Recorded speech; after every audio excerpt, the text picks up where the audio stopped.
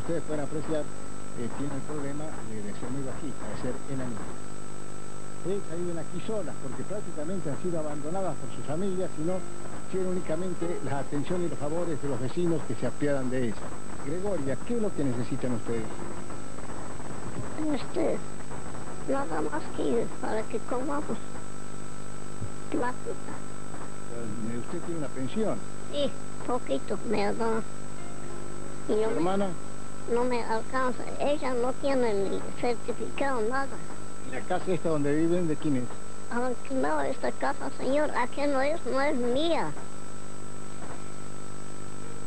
¿Y cómo están de salud? Más o menos. ¿Para qué voy a poner a semejante dolor que siento aquí en mis huesos? No puedo ni parar. Usted creo que va a cumplir 83 años, es el 19 de julio de 1919. Sí, señor. ¿Y su hermana? A lo mejor 50, más o menos, por ahí.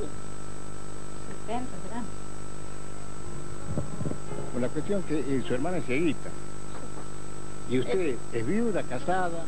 Viuda y casada, caramba. Hombre, y no chuara, señor. Dios maldice a tiempo. Al abandonó su marido. Sí, señor. Y ha muerto. ¿Ha muerto? Sí, señor. ¿Ha tenido hijos? Un hito. Un hito, niñita. ¿Y dónde está? Ha muerto. Ha muerto también.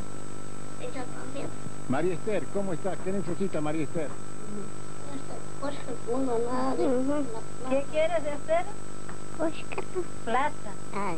Dice que necesita dinero para comer. Dice que quería. ¿Qué?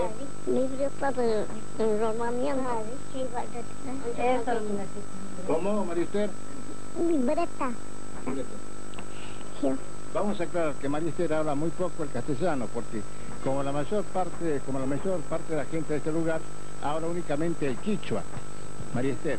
Entonces necesita una casa. ¿Y qué más necesita? Comida, remedios.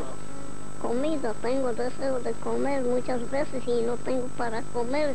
Esta señora no alcanza. Tiene una señora que les hace la comida. Sí, señor. Y gracias a ella se pueden desenvolver en el lugar. Pobrecita, muy bonita. Ella me... Semejante tenía afán. ¿Y usted la cuida a su hermana?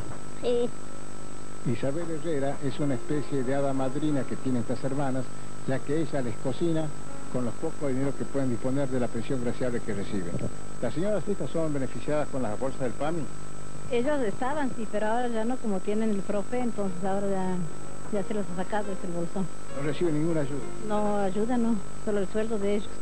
¿Aquí tienen luz eléctrica? No, no, por ahora todavía no.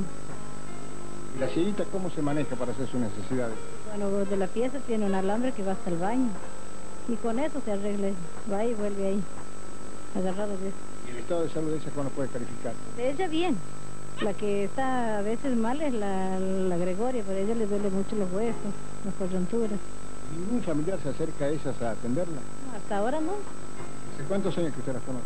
Ah, hace poco, desde hace poco las conozco. ¿Sigue con esto solita? Allá en el campo sí, pero siempre tenían atenciones que tenían otra señora que iba a darles de comer y todo.